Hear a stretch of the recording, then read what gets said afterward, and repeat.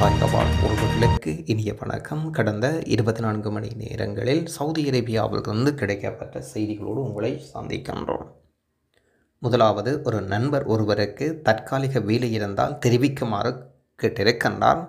வீட்டு டிரைவர் வேலை வேண்டுமென்றும் சொல்லி இருக்கின்றார் ரியாத்தில் மட்டுமென்றும் சொல்லி இருக்கின்றார் தற்காலிக வேலை என்றும் சொல்லி இருக்கின்றார். தொடர்பிலக்கம் சைபர் ஐந்து எழுபத்தி ஆறு முப்பத்தி ஆறு நாற்பத்தி மூன்று சைபர் ஐந்து. இன்னும் ஒரு தொடர்பிலக்கம் சைபர் ஐந்து எழுபத்தி ஒன்று சைபர் எட்டு அறுபத்தி ஒன்பது எழுபத்தி எட்டு சவுதி அரேபியாவில் பத்து வருடங்கள் ஆகிவிட்டது. சவுதி அரேபியா ரியாத்துக்கு வந்து பத்து வருடங்கள் ஆகிவிட்டது. அதனால் இப்போது லேபர் வேலைக்கு சராசரியாக என்ன என்ன சம்பளம் கொடுக்கின்றார்கள் ரியாத்தில் என்ன சம்பளம் கொடுக்கின்றார்கள் பொதுவாக சவுதி அரேபியாவில் என்ன ஊதியம் தருவார்கள்?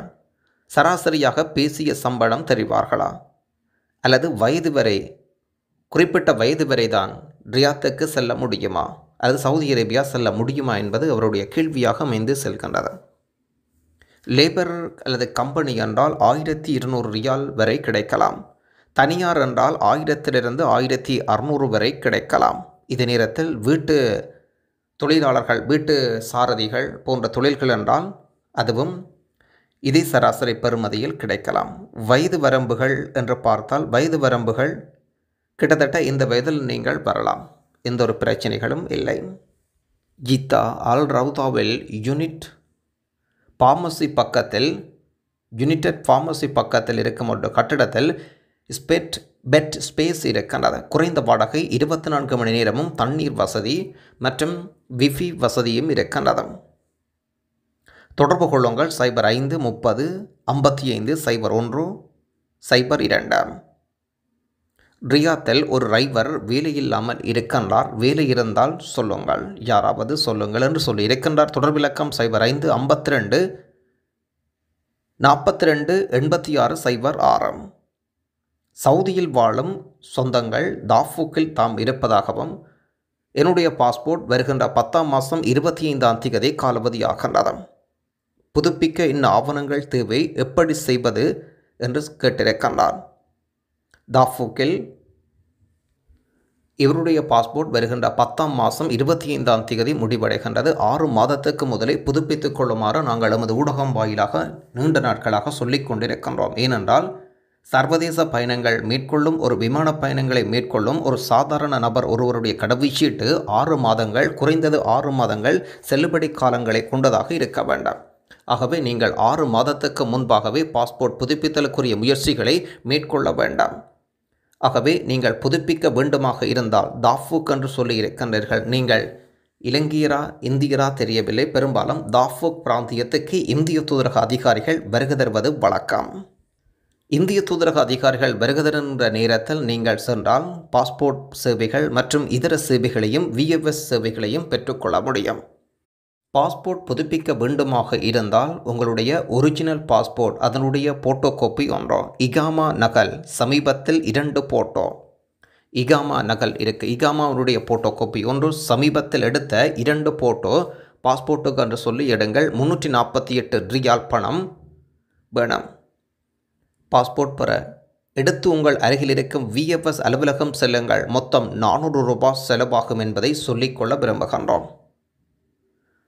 இன்னும் விளக்கங்கள் தேவை என்றால் சைபர் ஐந்து பத்து சைபர் ஐந்து எழுபத்தி ரெண்டு முப்பத்தி ஒன்று என்ற எண்ணில் காலை பத்து மணி தொடக்கம் பன்னிரண்டு மணி வரையும் மதிய நேரம் இரவு நேரங்களில் ஐந்து மணி தொடக்கம் ஒன்பது மணிக்கு இடப்பட்ட நேரங்களில் நீங்கள் அழைத்து இன்னும் விவரங்களை பெற்றுக்கொள்ளுங்கள். சில பேர் நினைக்கலாம் உங்களுடைய பாஸ்போர்ட்டை கபில் ரினுவல் செய்து தர முடியாதா? என்று சில பேர் கேட்கலாம். அந்த பாஸ்போர்ட்டில் நீங்கள் சைன் வைக்க வேண்டிய தேவைகள் இருக்கின்றது உங்களுக்கு தான் உங்களுடைய தனிப்பட்ட விவரங்கள் தெரியும். இலங்கை முகவரி இந்தி இப்போ இருக்கின்ற முகவரி போன்ற முகவரிகளை நீங்கள் கொடுப்பீர்கள். அதைவிட உங்களுடைய எம்பசி உங்கள் மொழியில் நீங்கள் உரையாடியும் கொள்ளலாம்.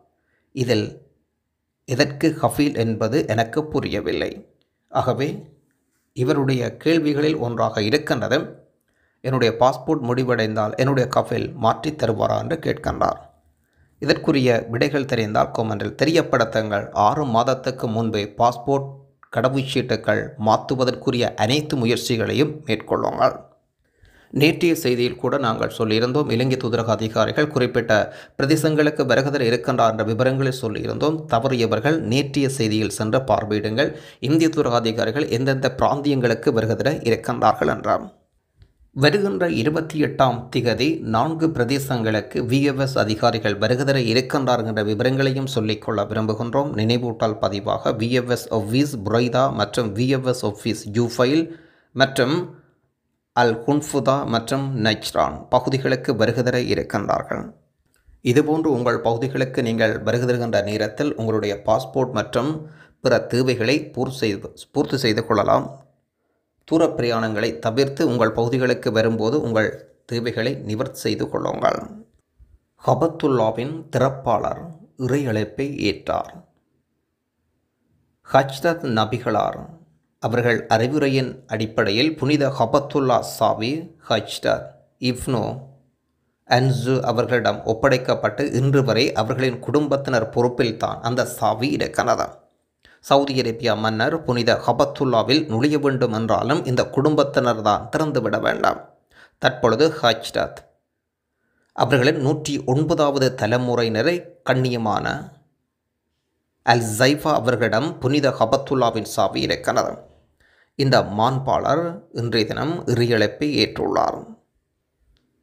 ஒரு பொருள் ஒன்று கண்டெடுக்கப்பட்டிருக்கின்றது. இதில் இருக்கின்ற ஆவணங்களை பார்த்தால் உங்களுக்கே புரியும். இதில் இருக்கின்ற ஆவணங்கள் கண்டெடுக்கப்பட்டிருக்கிறது சாகுல் ஹமீட் இவருக்கு சொந்தமான